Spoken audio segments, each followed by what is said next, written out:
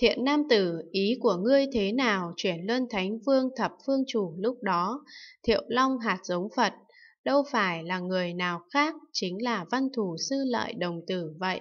Vị dạ thần lúc đó giác ngộ ta là hóa thân của Bồ Tát Phổ Hiền. Lúc đó ta làm bảo nữ của vua, nhờ vị dạ thần đó giác ngộ ta, khiến cho ta thấy Phật phát tâm A Nậu Đa La Tam Miệu Tam Bồ Đề.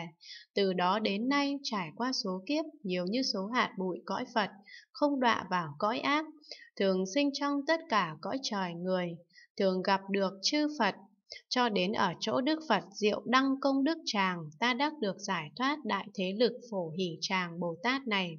Nhờ giải thoát này mà lợi ích tất cả chúng sinh như vậy.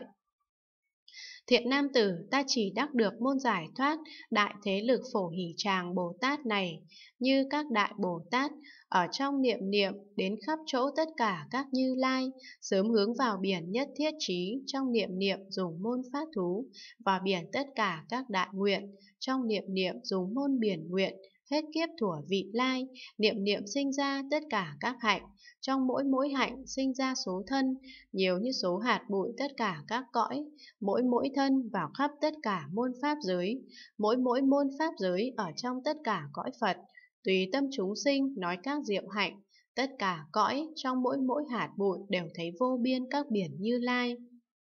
Ở chỗ mỗi mỗi Đức Như Lai đều thấy thần thông của chư Phật khắp Pháp giới. Ở chỗ mỗi mỗi Đức Như Lai đều thấy kiếp xưa tu Bồ Tát hạnh. Ở chỗ mỗi mỗi Đức Như Lai, thọ trì giữ gìn hết thảy bánh xe Pháp. Ở chỗ mỗi mỗi Đức Như Lai đều thấy các biển thần thông biến hóa của tất cả Như Lai ba đời, mà ta làm sao biết được nói được những hạnh công đức đó. Thiện nam tử trong chúng hội này có một vị dạ thần, tên là phổ cứu chúng sinh diệu đức. Ngươi đi đến đó hỏi, Bồ Tát làm thế nào vào Bồ Tát hạnh, tịnh Bồ Tát đạo. Bấy giờ thiện tài đồng tử đảnh lễ vị dạ thần, đi nhiễu quanh vô lượng vòng, ân cần chiếp ngưỡng, rồi từ tạ mà đi.